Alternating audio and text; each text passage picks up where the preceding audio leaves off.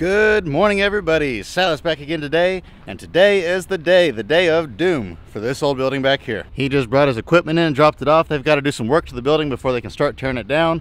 I'll kind of show you guys that here in just a second. The reason why I'm not tearing this down myself, number one, is I just don't have time to do it all. I say that, but I'm probably going to film most of tearing this one down.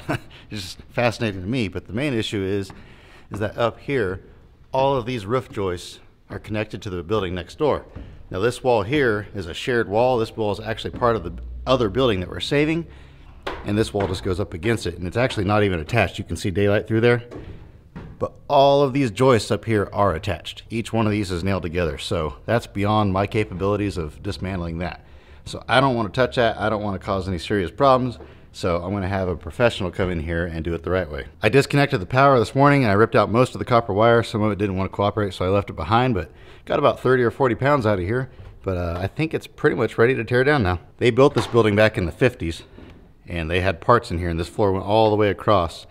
But they built the roof wrong and it's always held water and it's leaked for probably at least the last 30 years. So I mean, it's, it's pretty rough in here, but you can still see this was built back in the days when all foreign cars, whether they were European or Japanese or whatever, all went on the same shelf. This is a really neat place back in the day. Even when I was a kid, it was still halfway usable. It's been pretty well empty and just a, a water mess for the last at least 20 years. And then on top of all that, it's built below ground level, so water actually comes into here when it rains a lot. This will hold about four to six inches of water inside this building because it's so far below ground level. So it would just take a fortune to fix this building. So we're just gonna go ahead and tear it down fix the roof on the building next door, and use this area for a car processing area to drain the fluids, pull the wheels, that sort of stuff. Right now, they're gonna get up on the roof,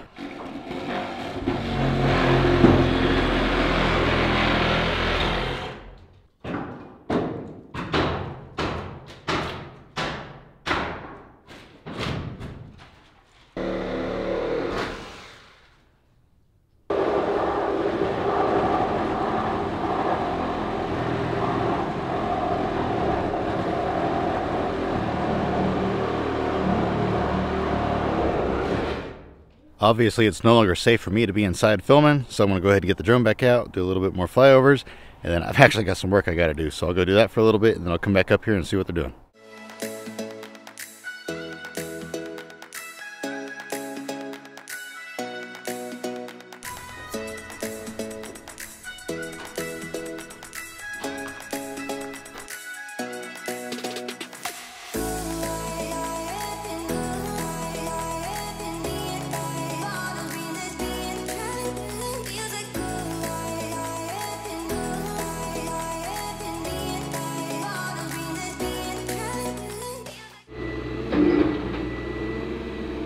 Wish I had a thumb like that on ours. That's a heavy duty one right there.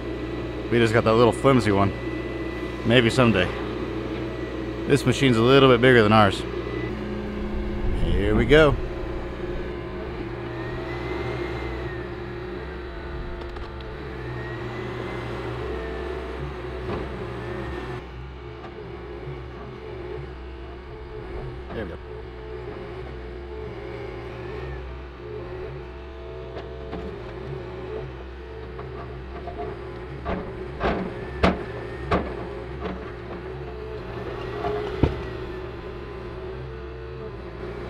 There we go. That's looking good.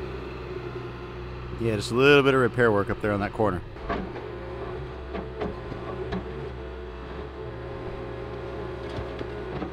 He's trying to separate the concrete from the rest of it because the concrete we can send to the landfill for free.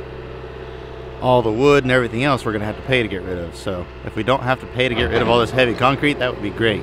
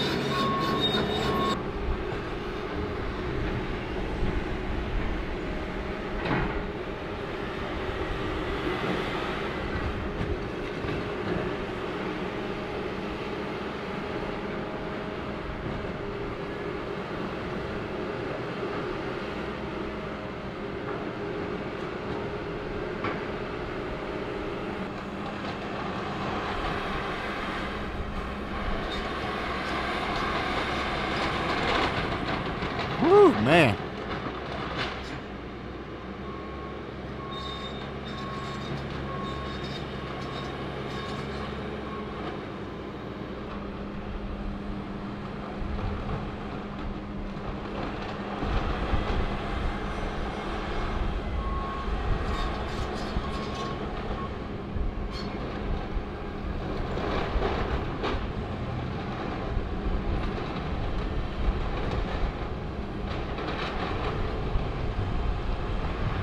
There we go.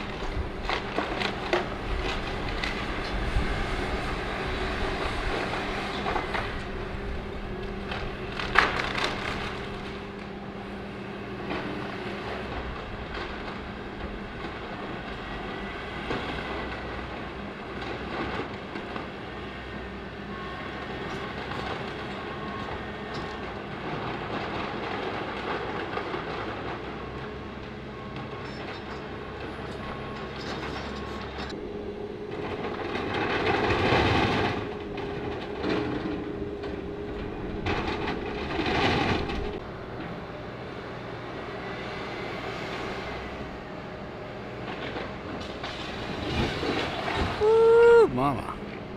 It's looking quite a bit different. That's for sure. I'm not 100% sure what his game plan is on that second level in there and then where it's still attached to the other building. I'm not sure. I know he's just going to go ahead and finish tearing down this side of the building and then do the other half later. I'm not sure exactly how he's going to do it though. You know, it's kind of a shame all that good lumber in there. I mean, look at that stuff. That's real good lumber. But we offered to give it to so many people. So many people said they wanted it. And we told them all, come on, come get it. You can have it all as much as you want to take. And nobody came and got anything. So away it goes. Can't wait forever for free stuff.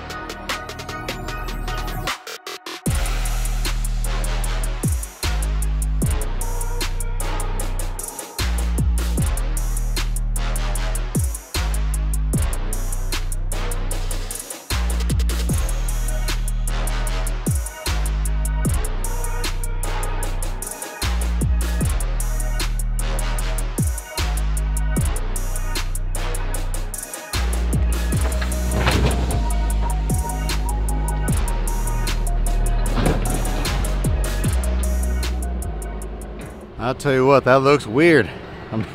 This building's been here for so many years. We figure this building was probably built in the 50s. I don't know if I mentioned that already or not, but that's what we're kind of guessing. I wouldn't want that job.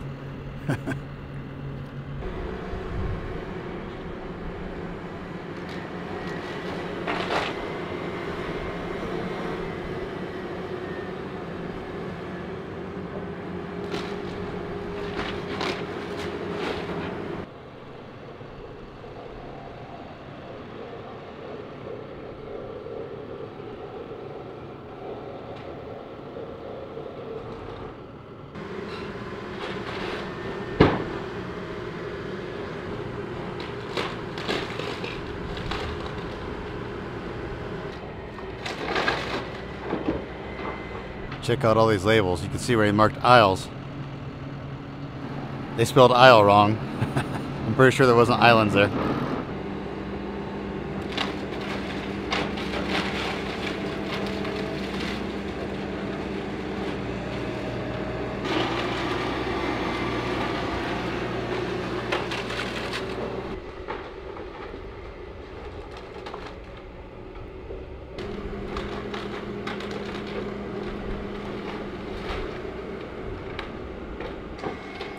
Slowly but surely whittling away at it. Got to take it nice and slow, cut one or two at a time. It's working out pretty good though. What's crazy about this tin is it wasn't leaking along the seams. This stuff here is still nice and sticky. Where it was leaking at is the places where it was rusted out, where it held water. And it finally just rusted all the way through. Like these over here. And the water just started coming through that. They put these drains in years and years ago thinking that would help. And it helped for about a year or two, and then it didn't help anymore.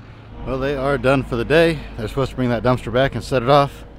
They'll set it back in here. I don't know if he's going to put a load of 10 in it next or if he's going to put more trash in it. So I guess we'll have to find out in the morning. But made quite a bit of progress today. Got this half about done other than that back wall. And then got the about half of the upper story off of that one there. Looks pretty crazy in here though. I don't, I don't really know what to say. It's kind of speechless. He got the majority of the roof off of this side over here into one dumpster. There was just a little bit left over. So this side here, we have about the same amount of wood up top, and then we have about the same amount of wood through here. So it's probably going to take at least two more dumpsters to get rid of all of it. And then we have all these shelves in here as well, so it might end up taking three dumpsters to get rid of all of the trash. I'm not sure how many dumpsters of concrete are going to go out, but probably, I'm just guessing, uh, that dumpster out there is about a quarter of the way full already, so probably looking at about four to five dumpsters of concrete as well. Well, everybody's gone. They got a new dumpster set here. Got all the equipment parked in here. My dad had to go get those panels. He forgot to bring them with him. he was here a minute ago, but he left them at the other yard. So he went back to get those. So I'm going to hang out wait for him, see if he can make it back before I have to leave. If not, I guess I'll go ahead and head out. But uh, either way, I guess I'll see you guys in the morning.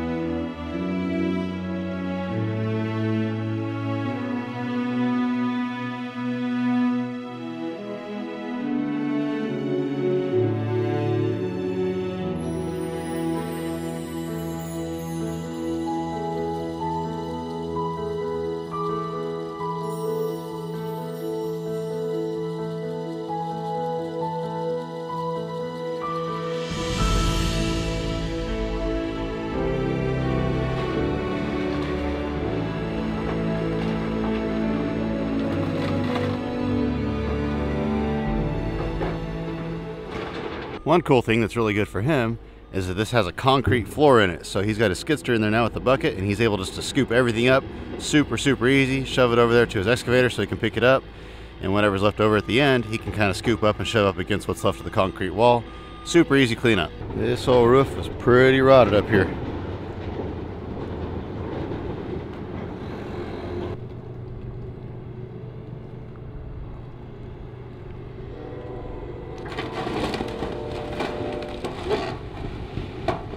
This whole roof here, there's certain spots that aren't even safe to walk on. it's pretty rotted up here. It's been rotting for a long, long time. You can see all the spots that held water. Like there was a spot, there was a spot, there was a spot. You can kind of see them all, but most of the spots that held water were right along the middle back here, where and especially where that back building was, because this building here you can kind of see has a little bit of a slope this way but that back building sloped the opposite direction. There was just no way of real realistically saving that building. Only way we could have done it is to build a whole new roof up here over the top and angle it all the way back, kind of build it up at the front and let it slope all the way to the very back of the building. The problem is, is a lot of these 2x12s or 2x16s, whatever those are, were already rotted down there at that end. So they would have had to been replaced and that's just, you were looking at lots and lots and lots and lots and lots of money to be able to fix the roof on the whole thing. And then that back half was below ground level anyway Plus, we need an area to process cars a little bit better that's away from the crusher. I don't like processing cars right next to the crusher. It makes me nervous sometimes. So really, this is what's best for our business. I know a lot of people are all about save it at any cost as long as it's your cost and not my cost. but we're not all about that. Once this back half is completely done and that rest of that wall over there and everything is gone, they're going to come back up here. They're going to go ahead and clean off most of the rest of this roof here, take it down. I don't know if they're going to go all the way to the 2x12s. I keep calling 2x12s. I think they're actually 2x14s or 16s, but I don't know if they're going to go all the way down or if they're just going to take off all the rubber and leave the wood, what's left of the wood anyway. I don't know exactly what their plan is. But we'll let them decide on all that. That's going to be about a week or two down the road.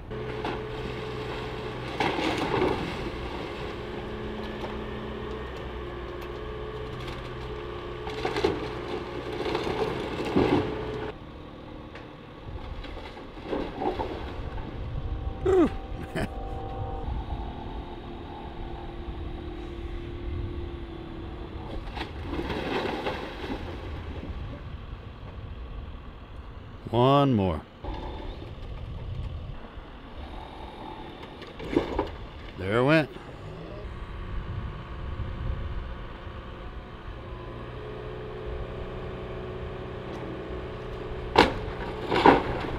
Boom.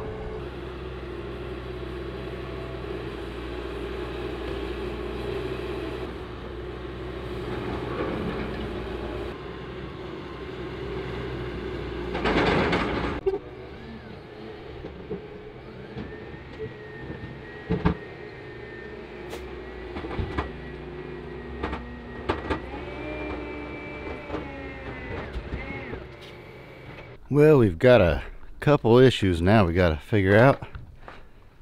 All of these are pocketed into the concrete and they have to come straight out because if they come sideways or twist at all, they bust the concrete. So we got to figure that out and then we got to take all these rails out.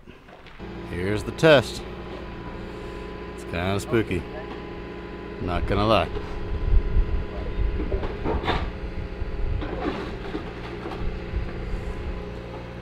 Because if it doesn't go right, it's going to tear up the wall in that other building. So.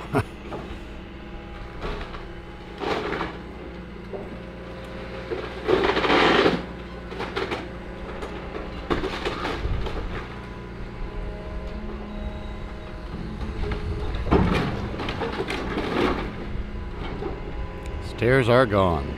So far, so good. Seems to be working. It's kind of spooky. Look at that whole thing's moving. Trying to pluck them out one at a time, but they're just still nailed together pretty good. Just not cooperating. Yeah, this wood's just in a lot better condition than the wood that was on the roof. There it went.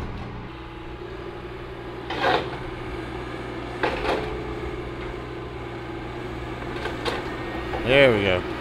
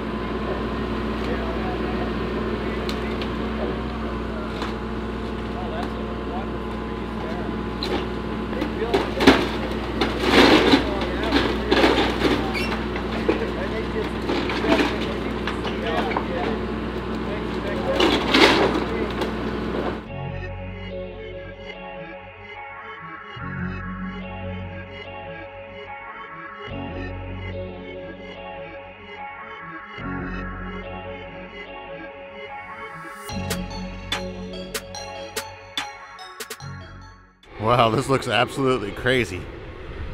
Absolutely crazy. He's going to gather up all the wood now, pack it in the dumpster, see how much he can get in there. And by then it'll probably be about lunchtime, but I'm assuming after lunch he's going to go ahead and knock this wall down. And I'm not sure how he's going to do that.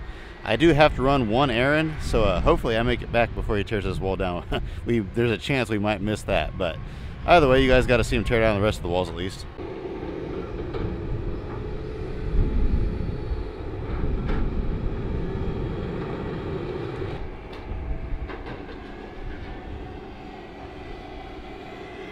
There it goes.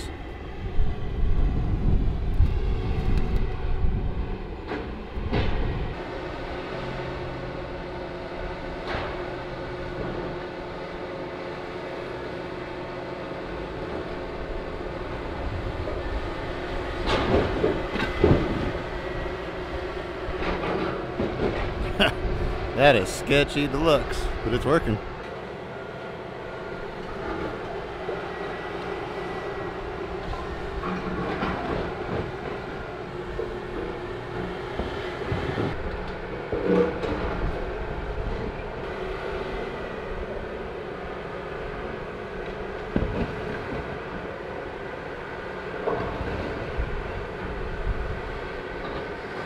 That's actually working way better than I thought it would.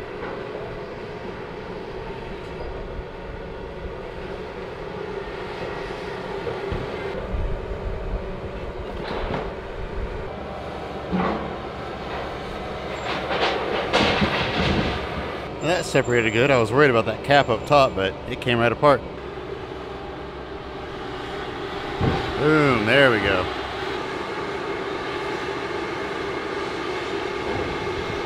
Very nice. But for real now, I've got to go, so I guess we won't get to see the rest of this, but you'll get to see it when I get back. Well, kind of a change of plans. I got back and they called and they said they could actually get my loader in to service it. I actually talked to them about a month and a half ago, something like that, about servicing this loader, and they said, well, they don't normally service case loaders. They usually just do combines and stuff. It's a local place. But I said, man, I, don't make me pay the case loader dealership in Wichita all, to come all the way over here. I don't want to have to pay that much money because it's like 200 and some dollars an hour plus a $400 service fee and just on and on and on. Whereas out there, they're like $150 an hour to work on it.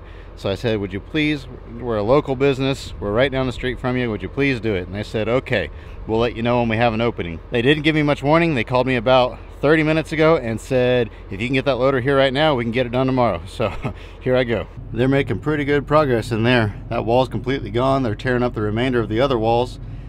They'll probably have all this concrete piled up ready to load here pretty soon. So looking pretty good. We're already almost there. It took us less than 10 minutes to get here. So it was even closer than I thought it was. Just right out there. This is Amish territory anyway. People are used to tractors driving down the highway, so it wasn't really that big of a deal.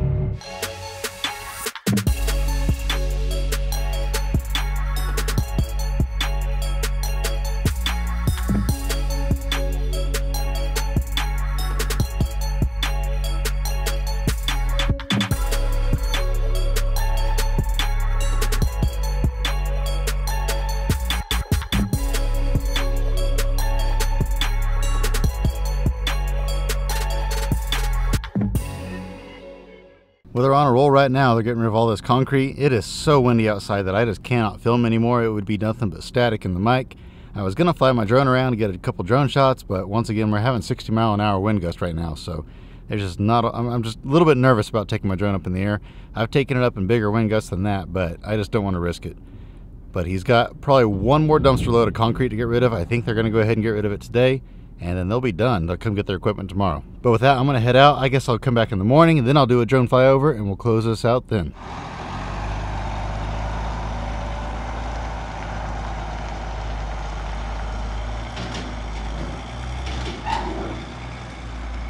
So I got back that morning and I got my drone out. I recorded this footage here. It looks totally different. I mean, radically, totally different. It looks awesome. And actually, even since I recorded this, it rained and washed that concrete off, and it looks pretty cool. But anyway, I went there and I recorded this drone footage, and then I completely forgot to close out this video. I got a phone call and I had to leave, and so then I just completely spaced it off and never went back. So if you guys enjoyed this one, please give me a thumbs up on this video. I know this was a ton of fun to film. We've got lots of big things coming up, so stay tuned. And with that, I'll let y'all go. I hope you have an absolutely fantastic rest of your day, And remember to get out there and find an adventure. We'll see you next time.